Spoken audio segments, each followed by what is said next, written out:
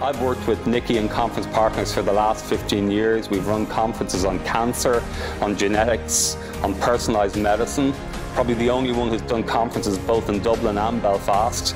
And it's really been a pleasure to work with Nikki and her team over the last 15 years. We've had a lot of fun together, but also we've really represented Ireland, both parts of the island, both the, the Republic of Ireland and Northern Ireland. And we've really brought a level of professionalism to the work that we've done. And people have loved the conferences. I still get people coming up talking to me about the conference we ran in 2006 in the Shelbourne, for example. It's just been a blast along the way. So well done, Nikki, on 20 years in uh, Conference Partners International.